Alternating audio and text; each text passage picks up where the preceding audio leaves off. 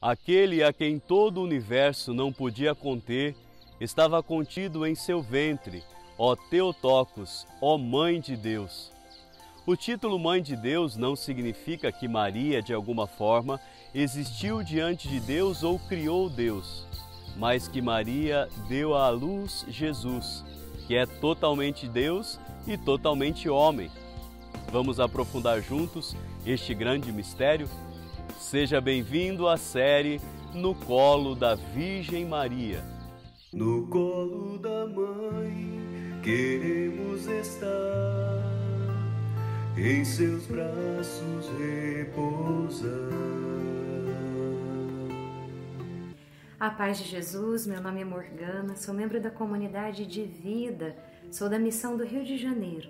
Neste dia 1 de janeiro, convido você a conhecer um pouquinho mais sobre o título de Nossa Senhora Santa Mãe de Deus, título que celebramos hoje nesse dia. Nós veneramos aqui a maternidade divina de Maria. Esse é o primeiro dogma de fé sobre Nossa Senhora e a partir dele todos os outros virão. Venerar a Santa Mãe de Deus, na verdade, é voltar o nosso olhar para o seu Filho, para Cristo nosso Senhor e para as duas naturezas de Jesus. Foi lá no Concílio de Éfeso, no ano de 431, que este dogma foi definido pela Igreja, justamente por ter sido questionado essa realidade, como uma criatura humana pode vir a ser a mãe de Deus. Seria, talvez, Maria, foi o questionamento, apenas a mãe de Cristo, homem? E então não seria a mãe de Cristo, Deus. Assim, o título Mãe de Deus, definido pelo Concílio de Éfeso, nos ensina que não significa que Maria, de alguma forma, existiu antes de Deus ou criou Deus, mas Maria deu à luz Jesus, que é totalmente Deus e é totalmente humano. Assim coloca o Catecismo da Igreja Católica, no parágrafo 495. Com efeito, aquele que ela concebeu como homem por obra do Espírito Santo e que se tornou verdadeiramente seu filho, segundo a carne, não é outro senão o Filho do Eterno Pai, a segunda pessoa da Santíssima Trindade.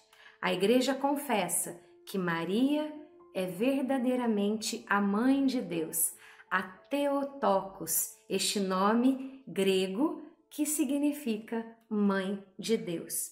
Aquele a quem todo o universo não podia conter estava contido em seu ventre, ó Theotokos. Desde esse tempo até hoje, a devoção de Nossa Senhora, Mãe de Deus e Nossa Mãe, vem dando muitos frutos para a Igreja, vem transformando muitos corações. É a presença intercessora, é o exemplo da Virgem Maria. E diante dessa grande manifestação, percebemos a profecia que ela mesma fez: Me proclamarão bem-aventurada todas as gerações.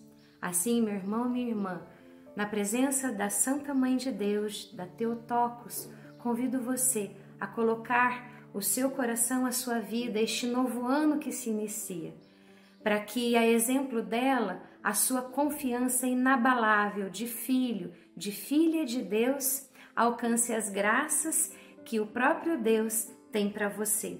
Te convido a comigo rezar, rezar esta oração que vem da letra de uma canção que nos diz: Salve, ó Santa Mãe de Deus. Tu deste à luz o Rei, que governa o céu e a terra pelos séculos eternos. Sempre contaremos com a tua intercessão. Tu nos trouxeste o Autor da vida.